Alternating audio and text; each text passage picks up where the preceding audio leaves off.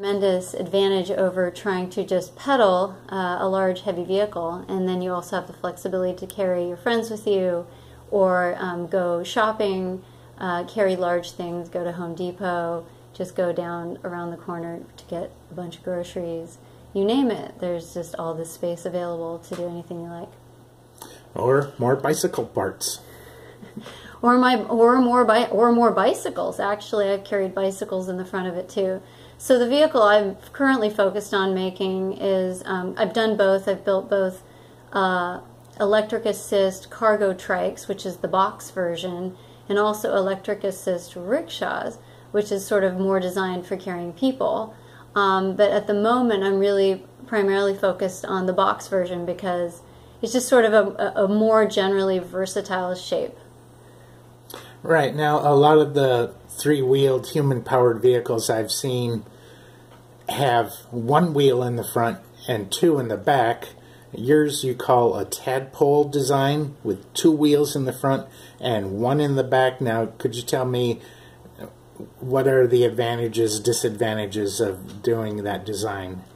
Um, yeah, so I don't. Well, I don't call it tadpole, and that that's actually a you know engineering term. I don't know. It's sort of a, a conventional term for that sort of vehicle. If you have two wheels in front and one in back, whether regardless of whether it's a recumbent or you name it. Um, and the reason that I do two wheels in the front is when you're um, when you're going at higher speeds. Uh, you know, 25 miles an hour, as opposed to a traditional tricycle, which often was only like maybe 5 or 10 miles an hour because you're just pedaling. Um, to have two wheels in the front is a much safer, um, more stable architecture than to have them in the back. Um, it has uh, a lot to do with the ability to uh, stop effectively uh, because then you can have your braking power where all of the weight and the force is going when you're stopping quickly. It also helps with going because that also means that your motorized wheels, because the two wheels in the front are the ones that have the motors in them, um, that also means you've got a lot of power pulling you, which can actually act as a steering stabilizer as you're accelerating. And then having the hydraulic disc brake system in the front also means that you have this kind of equalizing pressure for stopping. So, in fact, um, because tricycles are stable vehicles, but not as stable as a four wheel vehicle, you're always thinking about stability first and everything else second. So, that's the primary reason is for going and stopping more safely and effectively and as a steering stabilizer. Um, secondary reasons include being able to keep an eye on your cargo because a lot of times when people are traveling by bike, they've got maybe a trailer, so they strap it down, they think it's good, and then they just forget about it. Well, what if you get five miles down the road and you realize, oh, some of your load has fallen off? Well, with uh, your cargo in the front, that isn't an issue. You can kind of keep an eye on what's going on and keep an eye on the road. Now, even better if your cargo is your friend or if your cargo is your daughter. Um, that means that you can keep an eye on your friend or talk to your friend while you're actually driving down the road. And so it's safer because you're not tempted to turn around to talk to them so they can hear you um, and then, you know, crash into something because something in front of you's changed. So that's, I think those are the two biggest reasons. And then there's a lot of other lesser reasons. okay, so safety and control. You have improved safety and control. Um, and improved um, social dynamic, I think, mm-hmm. is a mm-hmm. big part of it. Mm-hmm. Yeah. Okay, and how did you get started with Frankentrikes? Ooh, um, so it's actually a really long story. Um, it all, um, I'll try and make it brief. Okay. Um, it all started, um, it wasn't planned. Um, it all started with a terrible day that I had back in 1997 when I was driving a car and then another car that didn't see a yield sign uh, plowed right into my driver's side door at 40 miles an hour. Oh my God. And so uh, that was an interesting day that uh, sent shockwaves through the next you know, for the rest of my life because uh, there was an ambulance ride involved and a little bit of time in the hospital, and then um, a long recovery period um, where, needless to say, I was not driving. Um, and there was a lot of changes that happened in my life at that time. Um, I lost my partner. Um, we had a business together. The business uh, sold my half of the business to him. Uh, my apartment was demolished. Uh, so I was out of work. Um, I didn't. A lot of things were very difficult at the time. I guess you could say what happened is that car accident sort of disrupted my regularly scheduled programming, uh, and so losing everything and starting over somehow bicycles were involved with that. Um, and at, there was a time when I spent out of the city uh, living in, in nature. And then what came organically out of that process is I ended up bicycling to Mexico. And for that, and again, none of this was really like planned as in, oh, this is what I'm going to do. Um, I ended up towing a four foot by six foot trailer with a mountain bike, hauling all of my cooking and camping gear all the way from Reno down into deep into northern Mexico. Um, and that experience I, I now attribute to the beginning of thinking about moving things by bicycle, but also it was a very physically demanding task. Um, I rode 1,200 miles in two months, towing probably somewhere between um, 100 and 200 and some pounds of food and things. Um, again, there's lots of details I'm leaving out here. And then that was followed shortly by re a return to my home city of Seattle and uh, the planning for my next Burning Man, which had been a, a yearly ritual when I built uh, a rickshaw because I thought, well, hey, you know, I just bicycled to Mexico carrying all this stuff. Wouldn't it be nice to carry people instead? So I built a rickshaw, and then I was that was my role at Burning Man that year. I became a, a taxi driver, um, and so then that was really the first tricycle I built, and that was back in 2000. Well, you know, out on the playa where it's really flat, uh, it was easy to pedal around a giant thing with people in it. But then back in my hometown of Seattle, I was like, man, you know, sometimes I'd take it out for special events or parties or whatever. It, it was fun. It was very interactive. It had sound, it had lights, it had a crazy canopy, it had tiki lamps, it had all kinds of stuff. It was it was a wacky party machine and um, it was really fun. But man, it was hard to pedal, and I had this giant car battery mounted underneath the seat, and I was thinking, man, you know, and that that car battery is for the sound, for the stereo system, and for the lights and all. But I was thinking, you know, wouldn't it be great if this battery could actually power the wheels because darn it's exhausting to pedal this thing around Seattle with my friends. I'd love to have fun, but instead I'm just suffering. And um, it was several years later when, um, you know, that just kind of stewed in the back of my mind. It was several years later before I met a fellow who actually had just started importing components uh, to convert regular bikes to electric assist bikes or e-bikes. And he knew all about this stuff. And I thought, you know, we should be buddies. so you could pick his brain, basically. I picked his brain for a year. In fact, I picked his brain to the point where I moved up to the city he lived in, which was Vancouver, and um, that's where I built um, actually the vehicle that I drive today, which was the first electric assist tricycle. And that was a cargo trike or, you know, box trike uh, style, like um, Paul said, with two wheels in the front. So both of them had two wheels in the front. Um, and then, so I guess that's where it all began. Okay. Well, I could see, you know, if, if you have a car crash, a lot of times it's like after the crash, you don't want to drive. You know, it's like it just brings back all those memories of that trauma and stuff. Well, and, and your car is gone. yeah, you don't have a car. You don't have a car. um, yeah, so yeah, it's a combination of the bad memories mm-hmm. and um, simply not having one. Mm-hmm. So I'm, I'm just trying to picture you out in the desert bicycling with this big trailer behind you and heading down into Mexico. Did people stop you along the way and ask stupid questions? Um, actually, most of the people that stopped along the way um, asked if I needed a ride because they felt bad for me.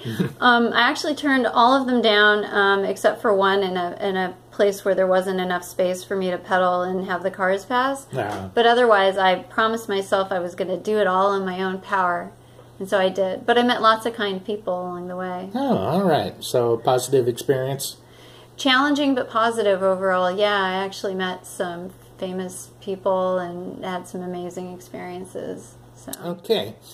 So when I first met you, it was at the Berkeley Spark, which was like a mini Burning Man or getting people ready for the Burning Man. And you were quite gracious in answering all my questions at the time. And since then, you launched this Kickstarter campaign and then sort of put it on hold temporarily.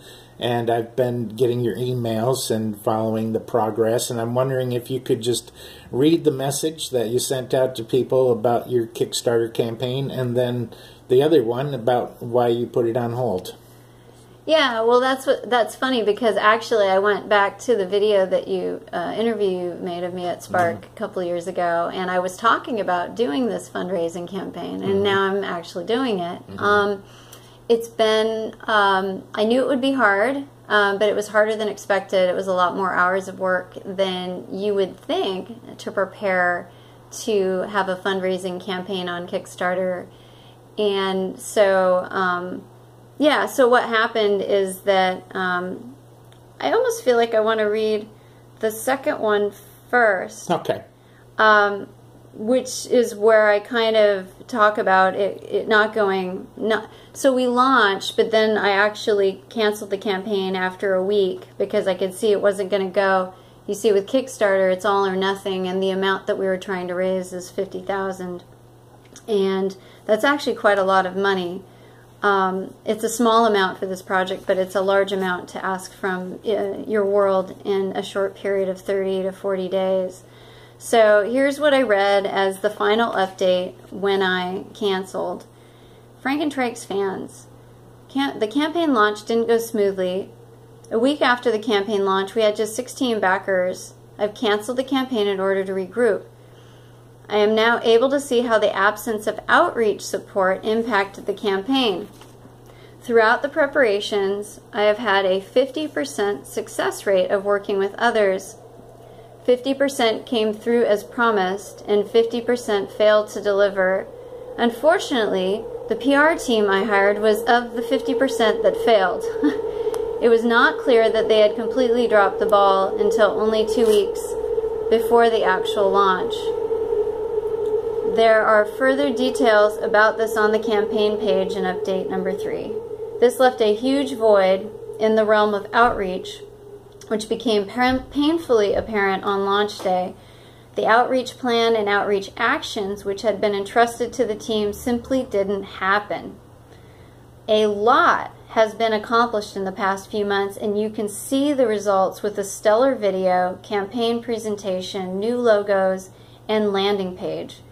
Frankentrikes is a big project, and 50000 is a lot of money to raise in 30 days. By canceling now, we save time, energy, and money and can regroup and relaunch in a couple of months on the Kickstarter platform or another. Most of the campaign campaign presentation work is done.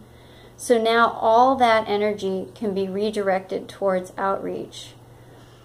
Um, you know, and then yeah, I just say thanks again for being an active and caring part of an important movement away from fossil fuel dependency. Um, so, so that was, uh, you know, mainly the issue is that there was outreach that needed to be prepared because when you're doing a campaign, you actually have to organize everything ahead of time. You can't just launch and then go, oh, now what do I do? Call my mom? You know? yeah. So you it's you have to reach like a lot of people because you have very little time. It's sort of how the whole thing's set up.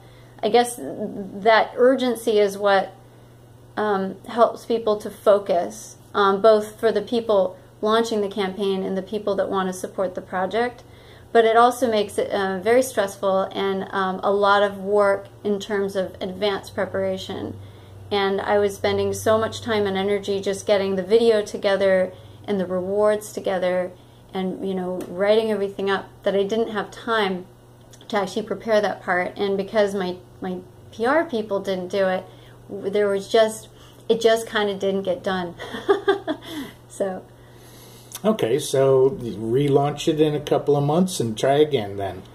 Yeah and um, i'm very optimistic about that because actually even in the week that we were launched um, even with the little bit of outreach that i was able to do um, i hired one of these you know Kickstarter PR crews that you, you know they they reach out to you after you've launched and say, "Hey, we like your project, and if you give us a few hundred bucks, we'll help you," and all.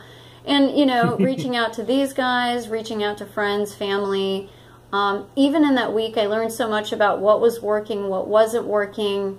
Um, I had a massive amount of return feedback, outreach there were people that um, are sort of in my industry that run pedicab companies or are frame builders that wanted to meet me and talk to me and find out how we can work together.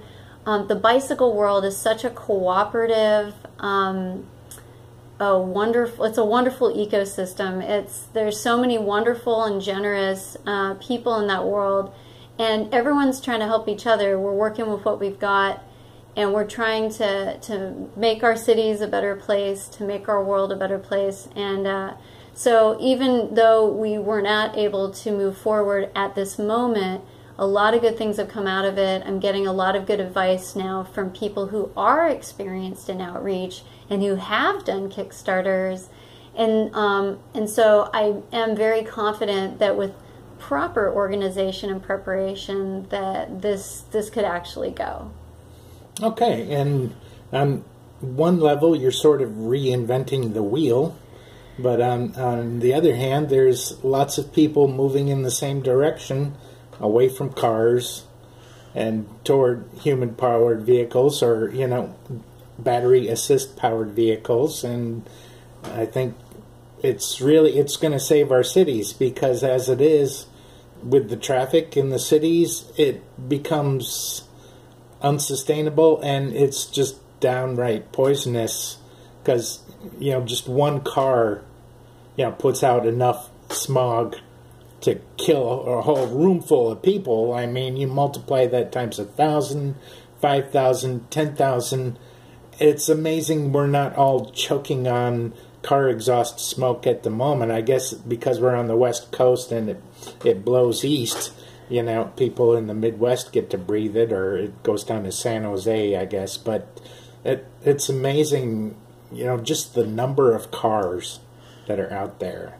Yeah, that's right. Um, actually, it does affect people here. Um, there, there's been a documented um, fairly high rate of respiratory illnesses among children in West Oakland, for example, um, during the drought um, when it wasn't raining. I live um, just east of downtown Oakland, and I was having problems with uh, my eyes burning, uh, my sinuses burning, my ears itching. I was sneezing for hours every day, just from just um, every morning uh, during rush hour and right after. So suffering so much that I put new screens on my window. I was thinking about getting an air filter, which is not really something I've ever seriously considered doing. Um, and I was seriously thinking of moving out of the apartment I was in. It was so bad. And it wasn't until the rains came that I could breathe again and that almost all my symptoms went away. But uh, the pollution that we create, you know, from all the freeways and, and from driving everywhere all the time for every for every reason and no reason, really does have an impact. And I don't even consider myself the most sensitive person out there. There's other people that, you know, practically have to put a mask on just to leave the house. mm-hmm. Yeah. So. Well, I I can remember the uh, Bicycle Liberation Army in Berkeley, and they their motto was two wheels good, four wheels bad, and then the other one was they said one less car. yeah, one less car. So I think that's where a lot of the bicycle people everyone's got their own idea of what's the best kind of vehicle to get around. You know, there's the pedicab people, there's the bike, the cargo bike people, there's the electric bike people. There's, but I think what we share is that desire to bring back a sense of place, a sense of community, um, to get out of the boxes, to uh, help people to see what they're missing. Because I think that the car um, can be a very effective way to go a long distance when you have to go really fast. But if you're always in it all the time in your own city, in your own neighborhood, you miss a lot of what's going on around you and you really feel very separated and, and decontextualized from your local environment. And I feel that one of the things that the bicycle does is it kind of starts to reconnect you to that sense of place and, and to realizing, well, this is where you are. This is where I am. You know, what am I going to make of it? What, you know, how can I make my home and my community better? And I think that when you don't really have to be where you're at, I think it's, there's sort of a, a shutting out of what's not pleasant rather than sort of an embracing of what's real and then working with that, which, which always seems to bring greater benefits than that kind of denial approach. okay, well, we're going to take a short break and listen to some music by Janice Whaley, and then we'll be right back. This is Berkeley Liberation Radio. You're tuned to the World Cruise with Captain Fred, and we'll be right back.